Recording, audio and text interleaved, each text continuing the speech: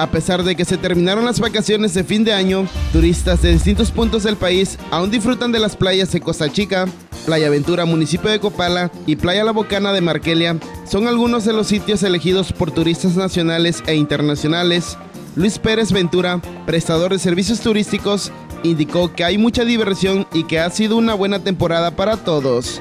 Principalmente su belleza natural del lugar, su gente, la buena atención, buena comida, tranquilidad, seguridad, paseos, como pueden ver aquí, los paseos en kayaks a la laguna, al río.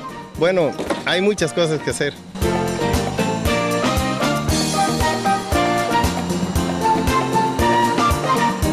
Verónica Farías, turista del Estado de México, dijo disfrutar de esta zona costera porque los atractivos naturales, como lo son Barra de Copala, Mata de Mangle y la Laguna de Chautengo, son únicas en México. Padrísimo.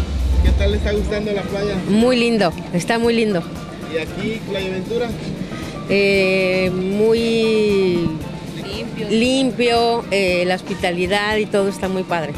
Lugareños invitaron a disfrutar de los balnearios con que cuenta la región Costa Chica, donde también vivirán la experiencia de liberación de tortugas. A todo mundo los invitamos a que visiten Playa Aventura, el destino turístico de moda y el número uno de la región de la Costa Chica. También invitamos a nuestros paisanos y hermanos de Acapulco que nos visiten. Aquí los esperamos. Víctor Manzanares, Rumualdo, Radio y Televisión de Guerrero.